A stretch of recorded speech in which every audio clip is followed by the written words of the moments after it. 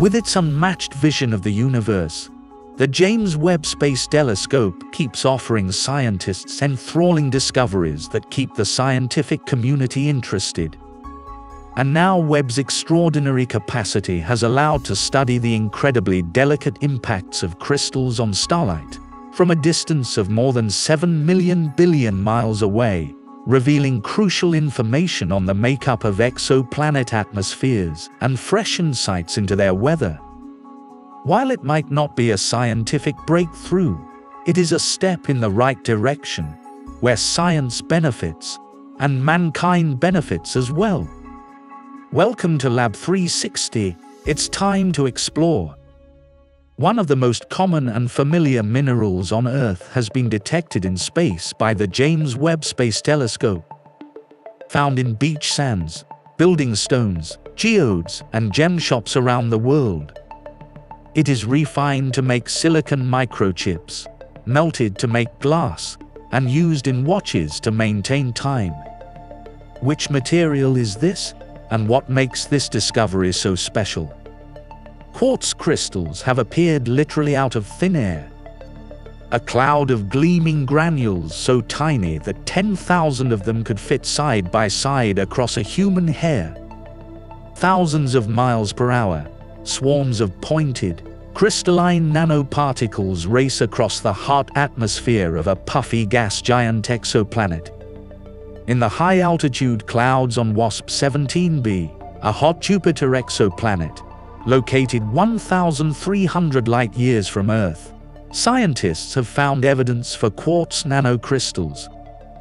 It is the first time that silica particles have been discovered in an exoplanet atmosphere, which was uniquely possible with Webb's mid-infrared instrument. Silicates make up the majority of Earth and the Moon, as well as other rocky objects in our solar system, and are exceedingly prevalent across the cosmos.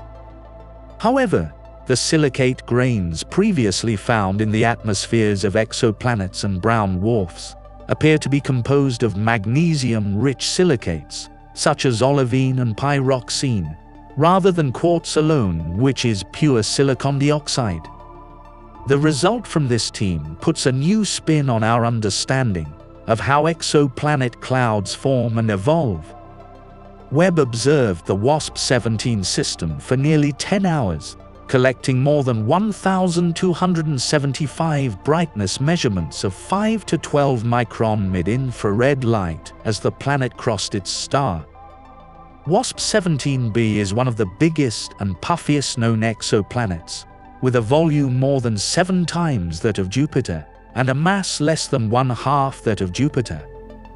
This, along with the planet's short orbital period of 3.7 Earth days, makes it perfect for transmission spectroscopy, a technique for detecting the filtering and scattering effects of a planet's atmosphere on starlight. The researchers calculated the amount of each wavelength blocked by the planet's atmosphere by subtracting the brightness of particular wavelengths of light that entered the telescope when the planet was in front of the star, from the brightness of the star on its own. What was discovered was an unanticipated bump at 8.6 microns, a characteristic that would not be anticipated if the clouds were composed of magnesium silicates or other potential high-temperature aerosols like aluminium oxide, but which makes perfect sense if they are composed of quartz.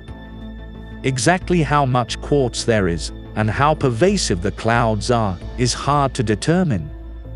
Given that the planet is tidally locked, with a very hot day side and a colder night side, it seems conceivable that clouds circulate around the planet but vaporize when they reach the hotter day side. With the possibility of winds moving these tiny glassy particles around at thousands of miles per hour.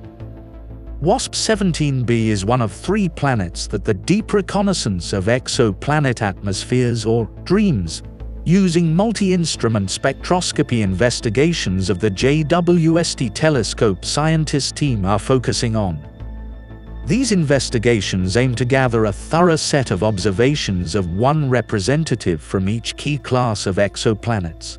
A hot Jupiter, a warm Neptune, and a temperate rocky planet.